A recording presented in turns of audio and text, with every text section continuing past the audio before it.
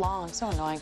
Now to a leading lady leading a double life. Zooey Deschanel can act, but did you know she can sing? Take a listen.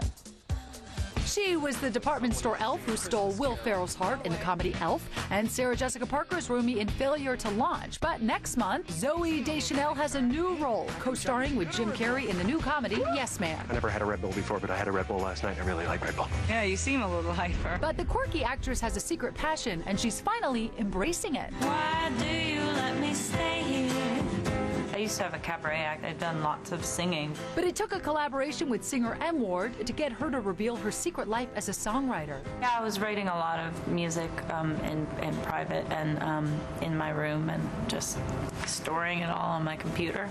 This one got me to get it out. So I just felt like there were these finished gems that needed to be heard. Now their band, She and Him, is getting out on tour to support their first album, Volume 1. And for Zooey, being on stage good as being on screen. When people are responding to, to melodies that you write, or that's kind of, I don't know, it's like cheap thrill.